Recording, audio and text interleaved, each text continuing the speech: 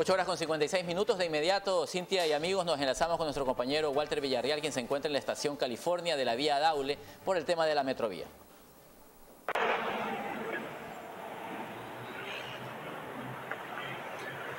¿Qué tal amigos de la audiencia? Buenos días. Tenemos este nuevo informe ahora desde esta, una de las paradas más conflictivas que tiene el sistema de Metro Bastión, la parada California. Ustedes pueden observar la cantidad de personas que están eh, pugnando por entrar y las que están también pugnando por salir, porque entre empujones y todo tienen que tratar de, de salir de este lugar. Ahí lo podemos evidenciar y confirmamos lo que habíamos mencionado hace un instante, de que no, tenemos, no tienen cómo poner un pie ellos para poder, señores, estamos afuera, no hemos ingresado, háganme el favor, estamos informados. La Esmeralda no se puede recargar tampoco, en la parada de la Esmeralda, no se recarga. No se recarga. No debería recargar aquí para allá. Bueno, amigo, y también el problema con el tema de el hecho de que, señorita, hágame el favor, estamos en la vía pública, el hecho de que no hay dónde poner un pie tampoco. Ah, todos los días, y nunca tienen buen servicio, servicio, no hay buen servicio en la metrovía, siempre a full, siempre a full. Ok, muchísimas gracias. Y mira la cantidad que llegan, Steven,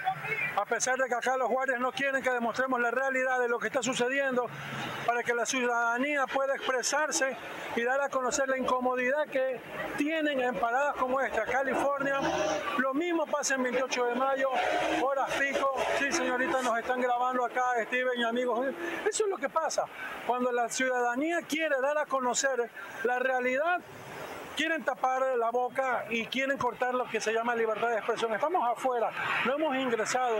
Caballero, usted creo que también es usuario acá de la Así es, ¿Qué nos puede decir de esto? El alcalde ayer ha hablado de que el sistema, se nos ayuda por favor acá, está prácticamente quebrado el sistema de Así es, pero realmente tiene que ahora acogerse el nuevo alcalde, ya que tiene que hacerse investigación sobre lo que, de las, con la auditoría para saber en qué ha quedado en la metro, porque ya no se ve que hay nuevas unidades. No, unidades. ¿Y usted que usa aquí, es o no es verdad que literal a veces no hay dónde poner un pie? En la estación, no se diga. esto va repleto de personas, porque la, la verdad que esto, al no haber muchas unidades, entonces ahí viene un repleto más de personas y que no se puede vivir en el derecho del buen vivir, que es en que estamos viviendo, que dice la Constitución. Pero no solamente esta corrupción se ve, sino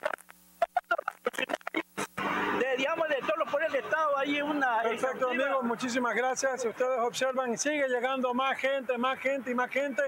Hay mucha demanda, pero pocas unidades. El alcalde lo dijo ayer y lo estamos confirmando aquí en la parada California, ubicada en la vía Daule. La primera la primera, de una vez que sale el bus de Metro Bastión, donde estuvimos hace un instante, de donde ya sale lleno, imagínense cómo será cuando todos ellos suban a la unidad de Steven, Cintia y amigos de la audiencia, es lo que podemos informar a esta hora desde el norte de la ciudad de Guayaquil, pues corroborando lo dicho el día de ayer por el alcalde de la ciudad respecto al sistema de transporte masivo Metrovía.